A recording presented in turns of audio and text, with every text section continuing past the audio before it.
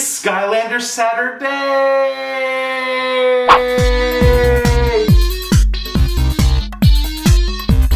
Hey, what's going on, Portal Masters? On this episode of Skylanders 101, I want to break things down with Grim Creeper, a new Skylander Swap Force Undead element. Let's check out some of his gameplay right now. Your time is up. Alright guys, let's check out some of Grim Creeper here, new undead element for Skylander Swap Force. And uh, here's his first attack, Scythe Swing. Press X to swing a ghostly scythe at nearby enemies. Ghost form, press B to separate from the armor. Uh, Poltergeist Scythe, press Y to knock enemies into the air with a spinning spectral scythe. That's tricky to say.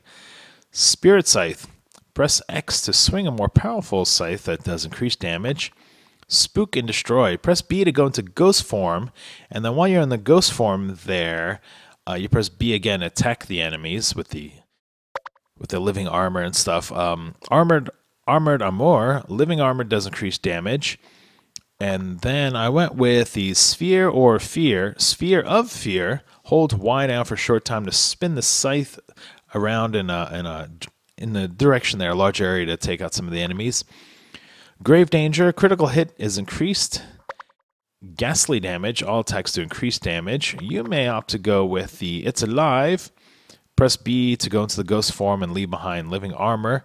So while you're at ghost form, your living armor will actually kind of attack enemies, sort of like uh, Eyebrawl, I guess, when Eyebrawl's eye pops off and then he can kind of move around and attack people. Haunted Help and Soul Sampler, and then his Soul Gem is Help from Beyond. A ghostly ally appears from defeated enemies that will seek out and attack other nearby enemies. So you kind of see a little ghost pop up from time to time doing some attacking. Alright, so let's show off Grim Creeper here. I'm using Light Core Grim Creeper for my Skylanders 101, so that's why it's kind of glowing a bit. Ooh, a nice harvest. But uh, his, uh, you know, his abilities and weapons are going to be the same. So this is what he looks like jumping. I like the way he kind of kicks his feet around a little bit while he's jumping there. Okay, so his first attack is the Scythe, and this is the one he's going to use a lot. It's pretty strong, pretty powerful, it takes a larger area. If you tap the A after a few times, it'll kind of combo into a little move there. So the second attack is you can kind of like toss the Scythe out there, Scythe out, and if you hold it down, he'll hold it out in front like that, and you can spin around. It's not, it's limited, so you can only do it for a few seconds. And then the uh, third thing you can do is this ghostly form.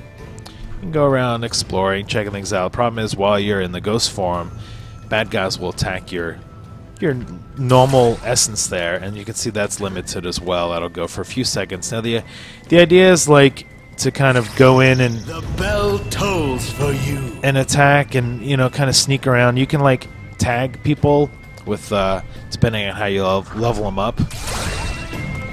And so that you can kind of like untag tag like five dudes I think and then when you go out of ghost form or you tap B again he'll go in and attack whoever's been tagged. Ah oh, sorry. I'm saying a lot here. I'm trying to describe things and concentrate. He's got you know so many crazy he's got so many crazy abilities there um, those airships ain't stopping themselves alright stop talking to my Skylanders 101 man alright let me show you some damage here get some bad guys get some bad guys going. So here's the Scythe. He's pretty fast too, like the way he walks, it looks a little clumsy. But he actually seems to take like two steps instead of one, which I think is cool. It's it's a little deceptive, but I like I like Skylanders that can walk magic element are stronger in this zone. I like Skylanders that can walk fast. Walk and talk fast. Okay, let me let me ghostly form up here. It's fright time! So you can see when he turns into a ghost, and then when he's when he comes out of the ghostly form, he'll attack. Eternal success. Pretty, it's pretty good. I brave new world. You know, I sort of I thought I'd kind of be a little more into Grim Cre Creeper. I think he looks cool, but I still I still feel like I'm figuring out his abilities. I mean, just coming up and smacking around bad guys with the scythe is pretty cool, and having little ghostly, ghostly forms and stuff around is pretty neat.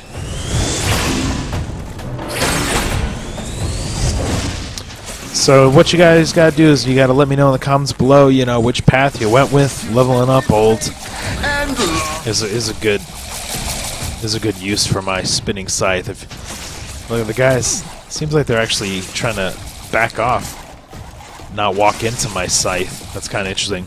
So yeah, what you guys gotta let me know in the comments. You know, which path you go with, how you feel about Grim Creeper. Always anxious to get some um, discussion about the new Skylanders figures in general, so we can kind of you know chat about it. So pretty cool. Alright guys, that wraps it up for Grim Creeper. Let me know in the comments below which path you went with when you were leveling up your Grim Creeper. For Coin Op TV, that's it for this episode. We hope you guys like, favorite, subscribe, whatever to this video. We'll see you guys next time.